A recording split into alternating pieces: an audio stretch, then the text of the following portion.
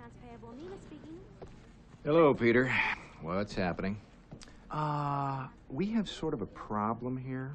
Yeah, you apparently didn't put one of the new cover sheets on your TPS reports. Oh, yeah. I'm sorry about that. I, I forgot. Hmm, yeah.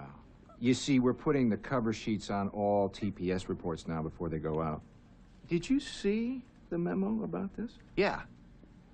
Yeah, yeah, I have the memo right here. I just, uh, forgot. But, uh, it's not shipping out till tomorrow, so there's no problem. Yeah. If you could just go ahead and make sure you do that from now on, that would be great. And, uh, I'll go ahead and make sure you get another copy of that memo. Okay? Yeah, no, I, Bye-bye, I, I have the memo. I've got it. It's right. Hello, Phil. What's happening? Um, I came by here yesterday.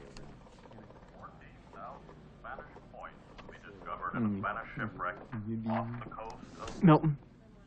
Hi. Uh, could you turn that down just a little bit? But I, I was told that I could listen to the radio at a reasonable volume from 9 to 11. Yeah, and no, no, I, I know you're allowed to. I, uh, I was just thinking maybe like a, you know, personal favor. You, Well, I, I, I, I told Bill that if, if Sandra's going to listen to her headphones while she's, while she's falling, then I should be able to listen to the radio while I'm collating. So Uh-huh. I don't see why I should have to turn down the radio because all right, okay. I enjoy listening at a reasonable volume. Thanks. From 9 to 11.